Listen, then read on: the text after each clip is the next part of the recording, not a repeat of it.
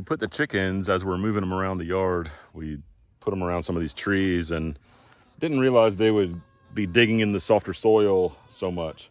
So now we need a little more soil in here. So I'm taking some mulch, some, some good composted mulch and putting that in there to fill it up. At the same time, I'm putting in some of the fruit tree spikes. I bought a whole bunch of them and the spikes kind of fell apart, but it's still fertilizer. So we're gonna put that in there too.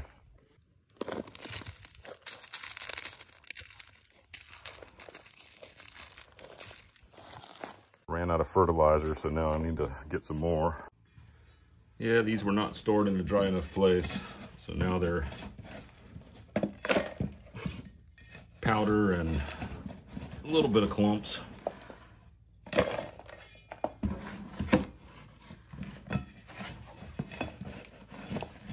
Same compounds are in there, except maybe if some of them might have broken down a little in all of this. These are little caps. I guess you would put them on top to sort of hammer them in the ground.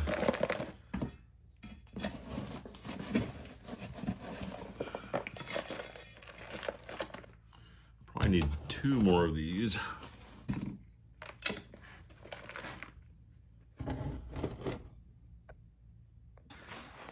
The spikes are supposed to be buried. Hopefully being buried under the mulch will be good enough. I can't really drive them in the ground very well, so we're just gonna do them this way and hope for the best. While I'm doing my trees, there's a little bit of excitement over here. This is a unmarked police vehicle. You can you can kind of see that uh, spotlight he's got on his car. We've seen state troopers and police going up and down the street all day, so we figured something's going on. Um, so they're just checking driveways or any kind of inlets where somebody could pull off the road. There was, uh, I guess, uh, someone pulled over by the police, ended up attacking the police officer who is now in the hospital. So they're checking to see every little place where this person may have ditched their car. They said there might be bullet holes in the door, so sounds pretty serious.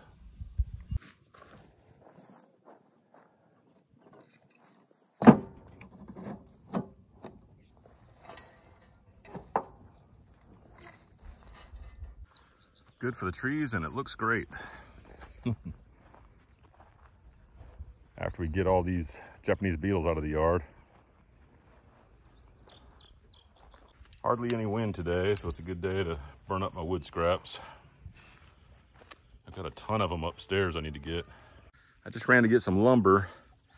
I want to thank Constantine for his uh, telling me about this bed extension for the truck. It cost me uh, less than $50 on sale at uh, Harbor Freight. It's normally $59. And that really helps me get a larger load of lumber. But while I'm out getting lumber, Cindy texted me and let me know that one of the chickens is on its last breaths, on its deathbed. So I need to go and put it out of its misery and bury it. Uh, we don't have a good wood chip pile right now to put the chicken into. So we'll have to bury it in the ground. We're not gonna process a chicken that we don't know why it's dying. You know, we don't know if it's old age or if it's sick or what, so we're not gonna save the meat. And you're getting a shovel. So we'll just bury her in the garden bed that we haven't started using yet and have some fertilizer benefit from that later on. So I got my hole dug and I went in and this chicken is definitely in rough shape, but I want to give her some medicine and see if we can bring her back. She does seem to have a little more strength than I was expecting. Let's see if we can get her to drink some water with some medicine in it.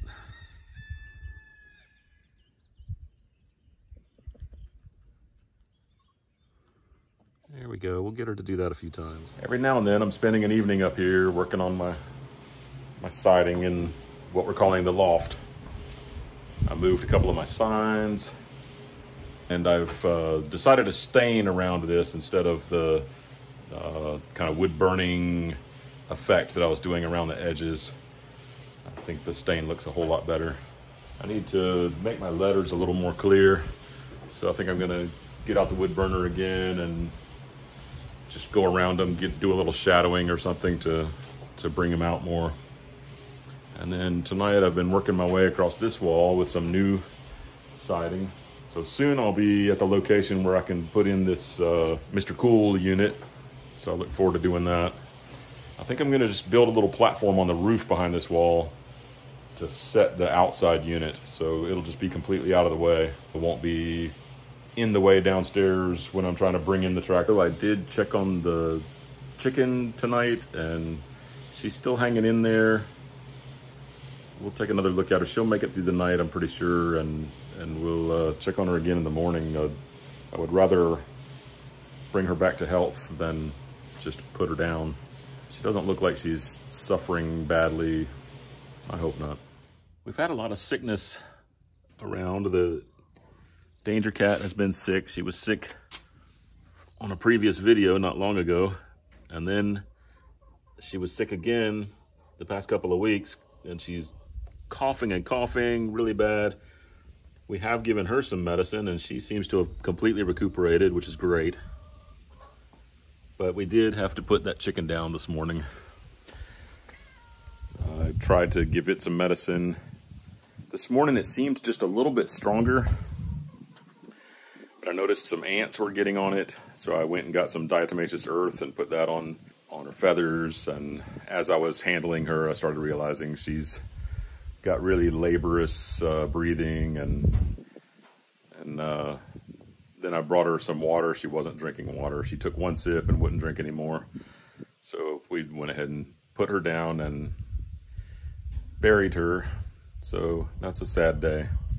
But I did want to mention that the cat recuperated really well. So we're excited about that. If you, I did actually try to get a video of the cat coughing once because it was a full body cough that was just really rough and she's totally good now. The barn is looking better. I'm getting in my third shelf today, so I'm about to put all the decking on there.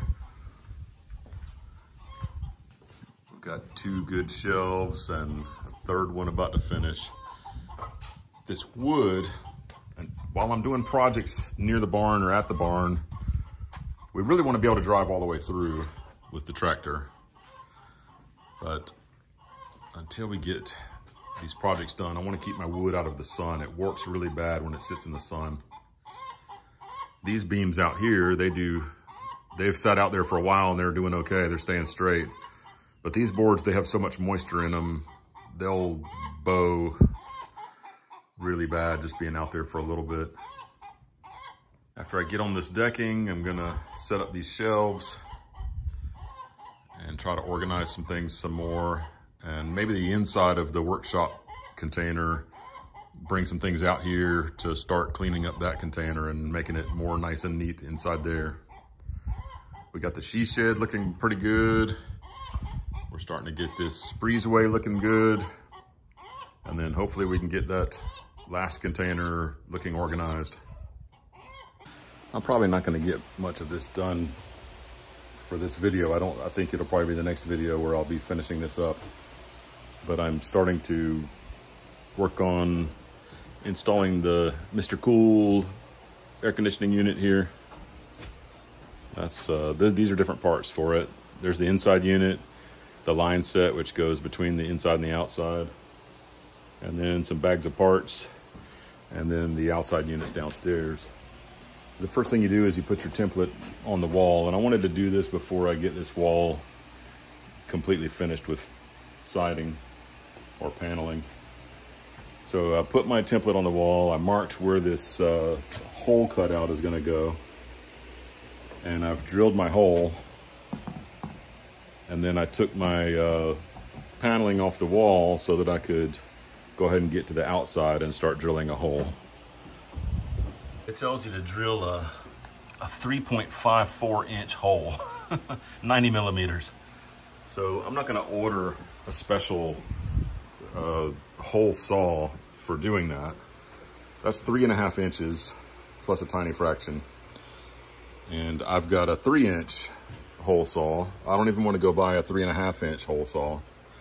I've already done this one, but I just thought I'd show how I made it the right size. So you see this, this is not the same as that hole.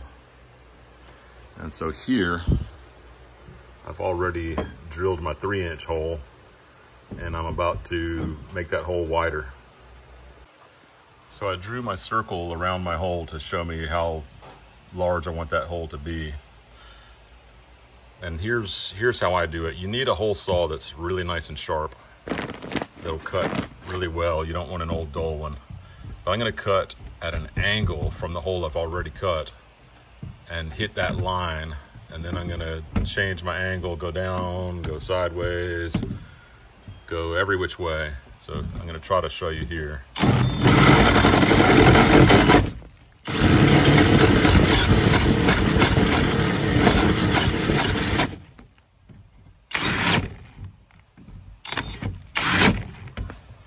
So you're just working, you're gonna work your way around that circle doing, doing that. I'm gonna finish cutting that one and then I'm gonna go around and, and do it on every side.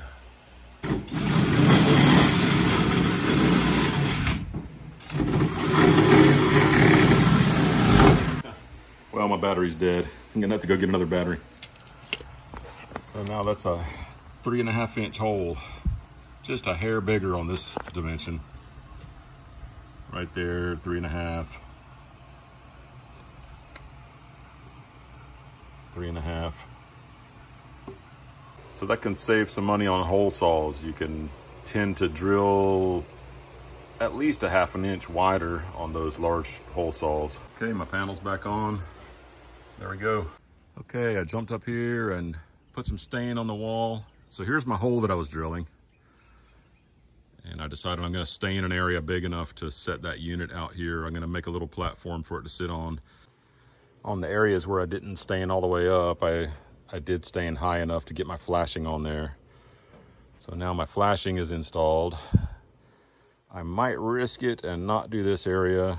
I don't know. When I start to build this platform, then I'll know for sure whether or not that's gonna be a problem. At this point, I can go ahead and install my inside unit but I got to put some siding in here. I don't have enough on there to get the whole thing mounted yet. So put a few more boards up. I hate doing these outlets.